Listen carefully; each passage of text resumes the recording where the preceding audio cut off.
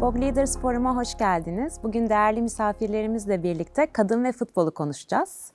Sohbete başlamadan evvel kendinizi tanıtmak ister misiniz? Tabii ki. Ben Necla Güngör Karagası. Ee, Türkiye Kadın A Milli Takım Teknik Direktörüyüm.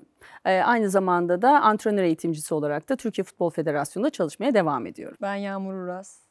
Galatasaray Kadın Futbol Takımı'nın forvetiyim. Aynı zamanda A Milli Takım'da da oynuyorum. Ben Meryem Cennet Çal. Fenerbahçe'de oynuyorum. Orta saha oyuncusuyum. Aynı zamanda da e, kadın A milli takımında oynuyorum. Tekrardan hoş geldiniz. Çok aşina olmadığım terimler kullandınız. Bugün biraz onlardan bahsedeceğiz. Futbol dünyasına nasıl girdiniz? Nasıl karar verdiniz? Topla ilk ilişkiniz nasıl başladı? Benim futbolla ilişkim şöyle. Ben aslında babasıyla vakit geçirmek isteyen bir kız çocuğu olarak babamın futbol sevgisini kullandım. Daha sonra da bu iş meraka dönüştü merak ettiğim şey içinde acaba bir fark yaratabilir miyim deyip antrenörlüğe başlamaya karar verdim. Ve antrenörlük serüvenim başladıktan sonra da erkek egemen bir dünyada bir fark yaratabiliyor muyum? Evet bir fark yaratabiliyorum. Daha sonra da kadın futbol tarafına geçtiğim zaman ki ben 8 sene profesyonel erkek takımlarında yardımcı antrenör olarak çalıştım Ersun Yanal'ın yanında. Acaba kadın takımında nasıl olur derken işte orada da bir etki yaratabilir miyim diye devam eden bir süreç. E, şimdi de o süreç 13 sene boyunca da kendini gerçekleştirme e, ve kadın futbolunun gelişimine aslında katkı sağlamaya dönük bir hayat hikayesi. Benim topla tanışma sürecim e, ilk başta top sektirerek başladım. 400-500 böyle top sektiriyordum küçükken. Sonrasında kendimi e, taşlardan kale yapıp sokakta futbol oynarken buldum. E, 12 yaşında da hayatım dönüm noktası oldu. Bir ablanın beni keşfetmesiyle Gazi Üniversitesi Kadın Futbol takımına yönlendirdi ve hala devam ediyorum. Bende de Necla hocamdaki gibi e, aynı şekilde e, gelişti. Benim babam da zamanında futbol oynuyordu. E, bir tane büyük abim var. O da e, futbol oynuyordu. E, öyle gelişti. Sonra 5 yaşında kulübe yazıldım. E, 16 yaşıma kadar erkeklerle oynadım. Daha sonra kadın futboluna geçtim. Şu anda Fenerbahçe'deyim. Peki hiç mahalle baskısına denk geldiniz mi? Senin ne işin var orada? Erkeklerin arasında niye oynuyorsun kızım? Ya da herhangi bir başka biri. Hiç bu tarz ön yargılarla, mahalle baskısıyla karşı karşıya geldiniz mi? Gelmez olur muyuz? Tabii ki geldik. Yani. Öyle, Öyle büyüdük. Zaten şöyle oluyorsunuz. Ee, baskıya karşı direnciniz artıyor. Eğer gerçekten içinizde bu işi yapma aşkı varsa ve biraz da e, yapı gereği inatçıysanız kendinizi gerçekleştireceğiniz ortamın da futbol olduğunu, o dikdörtgen saha olduğuna inandığınız andan itibaren o baskıları bertaraf edebiliyorsunuz. Ama evet ben mesela ilk Süper Lig erkek takımıyla çalışmaya başladığım andan itibaren şöyle tepkiler gelmeye başladı babama, aileme. İşte kızı veriyorsunuz 30 tane erkeğin önünde işte bu antrenmana çıkıyor. İşte bu evde kalacak, çocuğu olmaz gibi söylemlerle karşılaştık. Sonradan ama insanlar şunu fark etmeye başladı. Bu kız vazgeçmeyecek ve kendimi ispat etmeye başladım. Futbol camiasında, futbol e, sektöründe bir kadın da yer alabiliri fark ettikleri zaman işte her şey bertaraf oldu. Ama evet mahalle baskısı denilebilir ya da insanların eleştirileri. Çünkü insanların çok göz önünde olmayan ve çok alışık olmadıkları şeylere genelde direnç göstermeyi e, daha çok e, takdir ederler. O değişime direnç olan kısımlar kırıldıktan sonra da sizin tarafa geçerler. E, ben de şimdi 22 sene bitmiş, 23 senedir futbol sektöründeyim. O dirençlerin kırıldığı ve keyifli bir şekilde çalışma aşamasına geçtiğim bir süreci yaşıyorum. Yağmur ve Meryem'e geçmeden evvel bir soru sormak istiyorum. 22 senedir bu işi yapıyorum dediniz. 22 sene önceyle şimdi arasında bu tabular biraz yıkılmıştır herhalde. Kesinlikle. Yani işte benim İlk başladığım zaman işte tek kadın ya da bir iki tane daha arkadaşım vardı. Onlar da bu sektörün içinde yer almaya çalışıyorlardı. Şimdi ciddi anlamda antrenör eğitim programına dahil olan kadın antrenör adaylarımız biz önceden milli takım olarak kız çocukları futbola başlasın diye anne ve babaları ikna etmeye gidiyorduk. Şimdi tam tersi anne ve babalar bize özel sosyal medyadan ulaşıyorlar. Benim de kızım Meryem ablası gibi olsun, Yağmur ablası gibi olsun, hocam çok iyi sol ayağı var deyip e, kızını öven babalarla karşılaşıyoruz. Maçlara geliyorlar hocam, maçlardan sonra tanıştırıyorlar işte kızımızı biz de yazdıracağız şeklinde. Değişti yani o ön yargıları kırdık. Senin peki denk geldiğin bir zorluk oldu mu ya da Hiç eleştiri? unutmam yan komşumuz ilk bu teklif geldiğinde biz işte heyecanlıyız. Pazardan gittim ilk formamı aldım hiç unutmam annemle beraber. Bu konuda benim en büyük şansım ailemin her zaman destek olmasıydı. O zaman da bile hep destek oldular. Ee, bütün olumsuz tepkileri hani kulaklarını kapadılar. Şey de demişlerdi yan komşumuz şunu demişti boyu kısa olur, bacakları eğrilir ve erkek gibi olur. Asla yollama.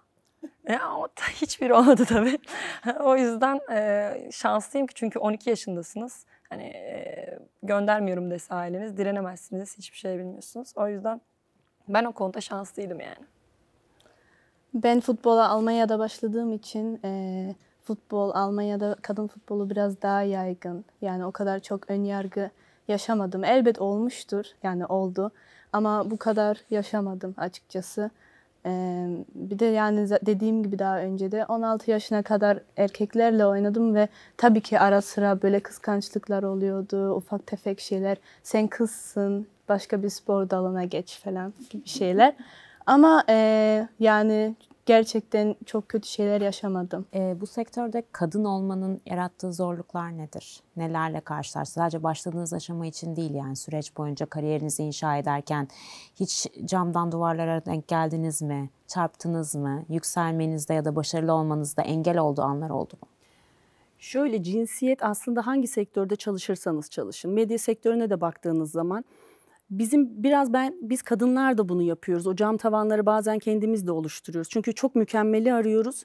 Bir erkek sizin söylediğiniz bir cümleyle onu kendi projesiymiş gibi aktarıp daha da yükselmenin e, yollarını bulabiliyor. Ama biz kadınlar her şeyi çok mükemmel yapmak ve e, el alem ne der tabusuyla da çok fazla hareket ettiğimiz için o cam tavanlarla mutlaka çarpışıyoruz. Evet benim çok ciddi cam tavanlarla karşılaştığım dönemleri oldu. Çünkü herkesin çok iyi bilmediği bir alanda bir kadın olarak ispat etmem gereken şeyler vardı. Bir erkek kadar sahaya çıkabilirim, bir erkek kadar antrenman yaptırabilirim, ben de futbol oynayabilirim, o sahada ben de bir takımı yönetebilirim kısımlarıyla ilgili o ispat döngüsünü çalıştırmak ve kendinizi bir şekilde insanlara ispat etmek çok yorucu. E, 23 senece seneme giriyorum. Bir erkek benimle birlikte başlayan erkekler şu anda Süper Lig'de takım yönetebiliyor. Ya da çok iyi bir teknik direktörün yanında yardımcı antrenör olarak da çalışabiliyor. İki katı çalışıyorsunuz. Geldiğiniz noktaya aslında gelmek için e, bir erkeğe nazaran özellikle işte erkek dünyası diye tanımlanan e, kısımlarda iki kat çalışmak durumunda kalıyorsunuz. Ya bu konuya ben şöyle mesela destek vereyim hocama. Ş- belli bir futbol kariyerimiz bittikten sonraki şu anki hedefim mesela kendi adıma Kadınlar Ligi'nde, milli takımlarda görev almak. Ama şu anda şunu diyemiyoruz. Bir erkek takımında görev alabileceğim diye. Çünkü o durum yok. O fırsat, o imkanlar şu anda yok. Değil mi hocam? Ben de katılıyorum. Evet gerçekten öyle. Yani e, bir kadın olarak kendini daha çok ispatlama gereği buluyoruz. Ee, maalesef şu an böyle ama bunu değiştirmek istiyoruz ileriki zamanda ve e, sanırım doğru yoldayız. Peki e, bilmediğim için soruyorum burada herkes bilsin diye. Performans ve fiziksel güç anlamında hiç kadın olmanın verdiği geride kalmanıza neden olan bir süreç oldu mu? Ama zaten kadın erkek birlikte oynamadığı için çok fazla fark etmiyor. Ama öyle bir dünya gelse bir fark, ediyor mu? Yani şimdi şöyle yabancı yani yurt dışında artık e, şunlar yapılmaya çalışıyor ve teklifler geliyor. İşte çok iyi bir e, kadın sporcunuz varsa erkek takımıyla oynatmak için özel izinler alınmaya başladı. Çok özel olan o tamamen kişinin bireysel performansı ile ilgili. Ama e, futbol bir spor branşı. Öncelikle hani bunun üstüne durmak lazım. Bu bir erkek spor branşı değil. Futbol her iki cinsinde çok rahatlıkla oynayabileceği, karma da oynayabileceği bir spor branşı. Bu spor branşının da gerektirdiği bir takım tabii ki yapmanız gereken e, çalışmalar var. Evet güce dayalı, e, fiziksel anlamda kendinize çok iyi bakmanız gerektiren ve çok ciddi bir disiplinin içerisinde yer almanız ve yaşam koşullarınızı da buna göre sürdürmeniz gereken bir spor branşı. E, tabii ki çok zor e, ama her spor branşı çok zor. Eğer mükemmeli istiyorsanız ve çok üst düzeyde bir performans sergilemek istiyorsanız her spor branşı çok zor. Ama erkek kadın farkından çok kişinin kendine yaptığı yatırım ve çalıştığı ortamla çok ilintili olduğunu düşünüyorum. Ben de aynı fikirdeyim yani bu konuda. Ee, özellikle ben de kendi bireysel e, bu konuda beslenme olsun, bireysel antrenmanlar olsun, işte performansını etki edebilecek işte dinlenme, uyku, sonrasında recovery'ler neler gerektiriyorsa şu anda biz Türkiye'deki kadın futbolcular olarak hani hani her şey tabii ki karşı tarafta hep bahaneler ararız ama biraz da kendimize de bakmalıyız. Bu anlamda çok eksiktik biz futbolcular olarak. Çok farkındalığımız yoktu. Ama son 2-3 yılda değil mi hocam? Hani özellikle mini takımlarda olsun, kulüplerde olsun e, herkes daha profesyonel bu anlamda. Daha iyi bakıyor kendine. Bunun da sahaya yansıması oluyor performans anlamında. Peki neye yatkın olduğunuzu, sen mesela orta sahada oynuyorum dedin değil mi? Bu yani işin kadın şeyinden geç çıkıyorum. Hangi bölgede nasıl oynayacağınız, ne yapacağınız, bunun keşif süreci nasıl gerçekleşti? Neye yatkın olduğunuz? Bu daha çok bireysel bir şey oluyor. Yani mesela bazı oyuncu e, oyuncular daha çok savunmayı e, daha iyi yapıyor. E, Yağmur ablam golcü mesela. Forvet oynuyor. Ben daha çok e, ikisini de seviyorum ama mesela mücadele etmeyi çok seviyorum. Daha çok teknik bir oyuncuyum. O yüzden orta sahada oynuyorum mesela. Bu karaktere göre değişiyor mu siz daha şey yapın? Hani... Evet değişiyor. Mesela şimdi Meryem dedi ki ben orta sahada mücadele etmeyi çok seviyorum. E, bizim milli takımdaki en önemli kriterimiz orta saha oyuncularımız diğer oyuncularımıza göre daha fazla koşsun. yani yazık bazen gerçekten üzüldüğüm noktalar oluyor ama bizim e, kriterimiz bu. Orta saha oyuncuları oyunu kuran ve oyunu yönlendiren oyuncular. O yüzden de Meryem'den istediğimiz şeyler daha ikili mücadelelere girip oyunu kursun ve daha fazla koşsun ki Yağmur'la topu buluşturabilsin. E, Yağmur'un kendi fiziksel özellikleri zaten inanılmaz aranan bir forvet özelliği var. Yani uzun boylu, çabuk e, ve bitiricilik özelliği var. Doğal olarak da ister istemez forvete daha yatkın. Kaleciliği de mutlaka Yağmur'u zorlamışlardır kaleci oluyor. Çünkü uzun boylu olan herkes bir kalede denerler. Ama Yağmur'un bireysel özellikleri tam bir forvet özelliği. E, o yüzden de antrenörlerin de yönlendirmesi. Bir de her oyuncu sahaya çıktığında forvet olmak ister. Gol atmak ister. Çünkü bu işin özü gol atmak. Ve herkes o keyfi, o hazzı yaşamak ister. Her oyuncu forvet başlar. Daha sonra antrenörle beraber o şekillenir ve takım kurgusuna uygun olan antrenörün oyun planına uygun olan şekilde de aslında bölgesel geçişleri sağlarlar. O zaman şunu sormak istiyorum. Her oyuncu gol atmak ister diyorsunuz. O zaman ama aslında bir oyuncunun gol atması ekibindeki diğer insanların ona atacağı pasla birlikte gerçekleşen bir şeydir. O yüzden de futbol aslında liderliğin olduğu, ekip ruhunun olduğu ve bir insana bireysel sporlar oranla daha çok ekip olarak çalışacağını ve size fayda sağlayacak özellikler getirir. Futbolla hayatınıza hangi faydalar sağlandı? Yani neyi öğrendiniz futbolla günlük hayatınızda uygulayabileceğiniz? Kesinlikle özgüven, kendinize güvenmeyi, kendi başınıza bir şeyler yapabilmeyi, e, küçük yaşlarda başlayan seyahatler olsun, işte yurt dışına çıkmalar, e, birçok ülke görüyorsunuz e, genç yaşta. Bunlarla birlikte kendinize olan güveniniz artıyor ve kendi başınıza kararlar alıyorsunuz, inisiyatif alabiliyorsunuz. E, bununla e, çok fazla şey öğrendiğimi düşünüyorum yani futbolun içerisinde. Ben de Yağmur ablama katılıyorum. Kesinlikle özgüven. E, ben 17 yaşımdan beri yalnız yaşıyorum. Ailemden ayrıyım. İlk defa 17 yaşımda kendim bir eve çıktım ve bana bu çok şey kattı hayatımda. Futbol sayesinde insan iletişimi geliştirdim ve çok erken yaşta e, olgunlaştım yalnız yaşadığım için. Benim için aslında işte takım sporu diyorsunuz ya en kıymetli şey birlikte bir ürünü ortaya çıkartabilmek ve bunu kadın sporlarında, kadın branşlarında daha fazla hissediyorsunuz. Ee, erkekler biraz daha bu işi kendi performansları, bireysel performanslarını göz önüne çıkartırken kadınlar ortaya çıkan ürünle daha fazla ilgileniyorlar. Benim için en kıymetli şey paylaşmak. Üzüntüyü de bir arada paylaşıyoruz. Biz takımla birlikte bir maçta mağlup olduğumuzda soyunma odasında çok ağladığımızı, birbirimize sarılarak çok ağladığımızı da bilirim. Ama maç çok iyi geçti ve kazandığımızda da o çılgınca eğlenmeyi de birlikte yaşarız. Bir eğer hayatta bir kaybımız varsa birbirimize sarılarak o yaralarımızı birlikte kapatmayı da çok iyi biliriz. O yüzden benim için futbol denildiği zaman aslında e, paylaşmak e, ve bunu da yönetmek. E, son zamanlarda hepimizin gündeminde futbol var. Tüm dünya bunu konuşuyor şu anda lig olduğu için. E, aslında bir spor dalı dedik aynı zamanda ama bir sektörde. Birçok döngünün olduğu bir sektör. Bu alanda kadınlar ligini çok konuşmuyoruz ama kadın futbol liginin nasıl bir katkısı var bu sektöre?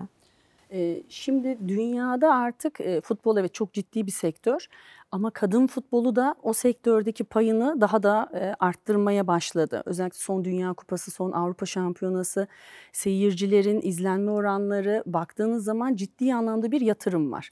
Çünkü erkek futbolunda alınabilecek ve gelinebilecek aslında her noktaya geliniyor. İşte Dünya Kupası oynanıyor. Dünya Kupası'nda da çok ciddi bir yatırım ve çok ciddi bir e, sponsorluk ve e, yatırımlar söz konusu. Kadın futboluna bakıyorsunuz bambaşka yeni bir mecra. Çünkü kadının işine girdiğiniz zaman aslında sektörde çocuğa da çok rahat ulaşıyorsunuz. Ee, kadın markaların hepsine çok rahatlıkla ulaşabiliyorsunuz. Evdeki karar veren mekanizma erkek gibi görünse de e, buradan erkekler lütfen yanlış anlamasın ama son kararı evet erkekler tamam hayatım diyerek verirler ama aslında kadın her şeyi yönlendirir ve karar verir. O yüzden kadın futbolu da sektör anlamında ve gelişim anlamında çok açık e, ve bunun da en son e, şeyini beklentileri en yükseğe çıkartan işte Avrupa Şampiyonası finali oldu. 86 bin e, küsür bir seyirciye ulaşıldı. E, çok ciddi bir rakam. Tıklım tıklım bir saha ve herkesin desteklediği bir ortam. Yani aslında en çok da ihtiyaç duyduğumuz şey e, seyircinin desteklemesiydi. Artık ona da ulaşıyoruz. Hem dünya futbolunda olsun hem ülkemizde de aynı şekilde. E, Süper Lig'deki takımların, kadın futbol takımları açmasından sonra işte Fenerbahçe, Beşiktaş'ın zaten vardı Galatasaray, işte Trabzon vesaire takımlar. Onlarla birlikte artık e, kadın futbol bizim maçlarımıza gelmeye başladı seyirciler. Bizim de tam aradığımız şeydi. O yüzden şu anda iyime gayet iyi gidiyor diye düşünüyorum. Sponsorluk bulmakta zorluk çekiyor musunuz? E, milli takım düzeyinde bakarsanız aslında çok çekmiyoruz çünkü çok kıymetli bir ekiple çalışıyoruz. Pazarlama departmanımız gerçekten kadın futbolunun ne olması gerektiğini ve kadınlara nasıl destek olmasını gerektirdiğini bilen ve bizi de çok iyi yönlendiren bir departmanımız. O yüzden bizim için çok zor olmuyor. Bence takımlar için de zor olmuyor çünkü e, kadına ulaşmak isteyen herkes, e, ligdeki kadınlara ulaşmak isteyen herkes de e, kızlarımızın olduğu takımlara mutlaka yöneliyorlar. Nasıl bir gelecek bizi bekliyor futbol dünyası, kadın futbol dünyasında? Genel olarak kadın futbolu e, gelecekte daha çok ümit verici bir şey. E, baktığımız zaman yurt dışında da mesela Almanya olsun, İngiltere olsun kadın futbolu bayağı ilerlemiş ve bunu da kendi ülkemizde de e, ülkemize de getirmek istiyoruz. Ve bunun için de hepimiz çok fazla çaba sarf ediyoruz. Çok iyi çalışıyoruz e, ve umarım gelecekte biz de e, Almanya gibi, İngiltere gibi yani e, profesyonel bir lige dönüşebiliriz. Ben bu konuyla ilgili kendi açımdan bir şey söylemek istiyorum. Yani mi takım departmanı kurulurken son 2-3 sene öncesinde tam bırakma noktasına gelmiştim. Artık hani olmuyor. Hani çalışıyoruz, çabalıyoruz ama istediğimiz şeylere ulaşamıyoruz derken e, Necda hocam sağ olsun tuttu elimden ve e, tekrardan kendimi buldum diyebilirim 2-3 sene içerisinde. Şimdi e, bu ivmelenmeyle birlikte daha çok umutlandım. Çünkü ben öncesini de gördüm. 20 sene önce başladığım için o alt noktayı gördüğüm için şu anki nokta beni çok umutlandırıyor. O yüzden de kendime şunu söylüyorum ne kadar kendine iyi bakarsan şu anki Türkiye'deki futbolda o kadar çok oynamak istiyorum ki kendi sınırlarımı görmek istiyorum. En uzun siz galiba bu işin içindesiniz. Siz nasıl bir gelecek bekliyorsunuz? Geçiş değişim sürecine şahit oldunuz çünkü. Ya evet en başından da az çok biliyorum. İşte Yağmur'un bırakma noktası dediği kısım da şu. Kadın futbolu e, son 3 seneye baktığınız zaman hiç görünür değildi.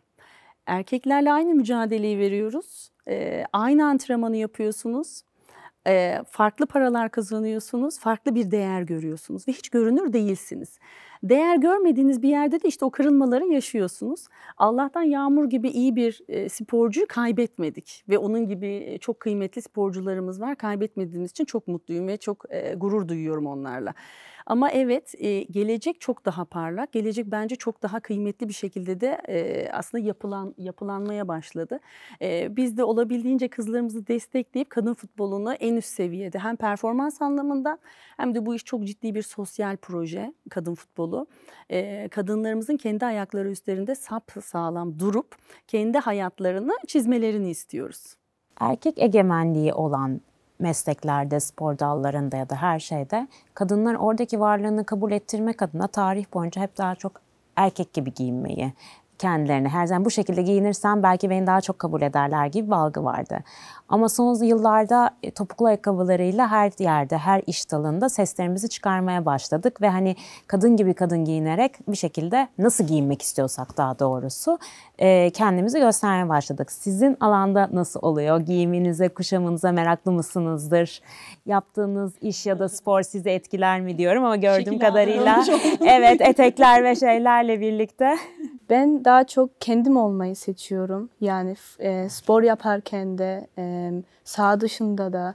Ama daha çok yani e, e, sağ dışında Meryem'im, olduğum gibiyim yani. Ama böyle spor yani futbol içinde de kendim ama böyle bir şalter var.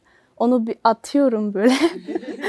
Sonra böyle bir moda giriyorum gerçekten. E, full böyle e, futboluma konsantre olabiliyorum. Ama hala kendimim. Yani değişen bir şey yok. Ama e, futbol dışında daha çok böyle süslü püslü giymeyi de tercih ediyorum. Yani e, ikisi de bir arada oluyor. Yani sadece futbol oynuyoruz diye e, özel hayatımızda erkek gibi giyineceğiz diye bir şey yok. Yani sonuçta bir bu spor. E, sadece erkeklerin oynay oynayabileceği bir şey değil. E, yani sanırım gördüğünüz Evet. gibi görünüyor. gün bizim kampa giriş günümüzü çekmeniz lazım. Çünkü şey zannedersiniz yani böyle bayağı kızlar defileye gelir gibi inanılmaz takma kirpikler yapılıyor, makyaj yapılıyor ve kombinle geliyorlar. Kampa giriş kombini, kampa çıkış kombini. Eğer yurt dışında gidiyorsak ve izin günü varsa eğer ki onlara önceden gidiyor ona göre bir kombinle geliyorlar. Onunla ilgili sıkıntımız yok.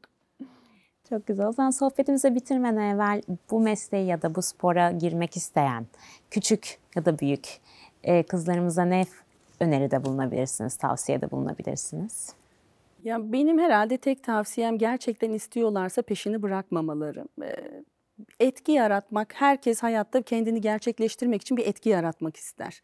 Eğer etki yarattı, yaratabileceğiniz dünya futbol dünyasıysa e, bu hayalinize sımsıkı sarılıp devam etmelerini tavsiye ederim. Ben de buradan e, öncelikle ailelere hani hala ön yargılı yetenekli çocukları varsa onların arkalarında olmalarını istiyorum. Yetenekli ya da işte ben bu işi yapacağım diyen kardeşlerimiz de e, bizlerden örnek alsınlar. E, eğitim hayatını da birlikte sürdürebiliyorlar. Spor hayatlarında devam ettirebiliyorlar ve sonunda da istedikleri hedefe ulaşabilirler. Asla pes etmesinler. Bu yola çıksınlar. Ben de Necla hocamla Yağmur ablama katılıyorum. Ee, aile çok önemli, destek çok önemli. Ama e, bireysel bir şey de var. Bir insan kendine çok güvenerek bir yola çıkması gerekiyor. Ve bir şey istedin mi gerçekten sonunda getirirsin. Ee, o yüzden e, genç kızlarımıza kendinize güvenin. Ee, yani bir şey yapıyorsanız arkasında durun. Ve en önemlisi zevk alın yaptığınız işten. Kesinlikle. Kendi hayatlarının liderleri olmalılar. Evet, çok önemli. Bugün bize eşlik ettiğiniz için çok teşekkür ederiz. Bu keyifli sohbet için de yolunuz açık olsun. Sağ olun, çok teşekkürler.